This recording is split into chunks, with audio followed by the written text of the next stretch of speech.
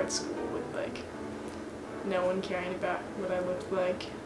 I just I guess I've really like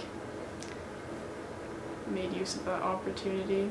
I mean, vulnerability like is bravery. Like when you're so accepting of the fact that you're like just out there. I think that they're sort of the same thing in a lot of ways, but how that plays into my wardrobe, I guess.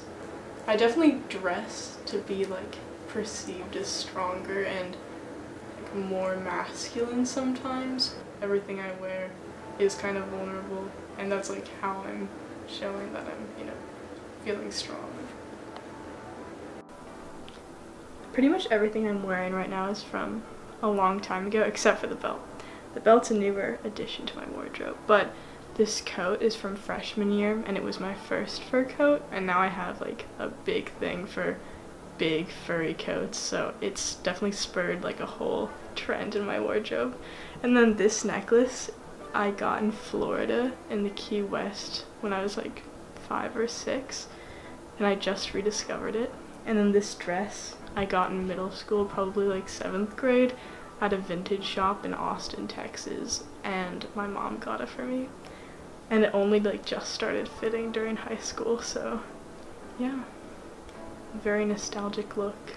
Pretty much anything inspires me honestly. Like i don't think you can consciously decide what makes its way into your subconscious. But in terms of individuals definitely like people in new york like a few um, well many decades ago like jagger bowie Yves Saint Laurent, like Andy Warhol, like that crowd of like really feminine, androgynous men in New York who are all artists is pretty much like the most.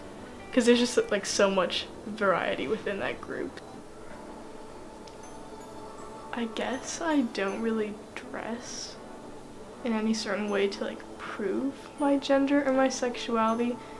In terms of sexuality, it's more I'll dress in a way that I perceive to be attractive or like masculine, but even then I'm not very focused on like finding a partner or anything right now, but in terms of my gender expression, it's kind of like I don't really try very hard to like dress masculine necessarily. It's just whatever I'm in the mood for.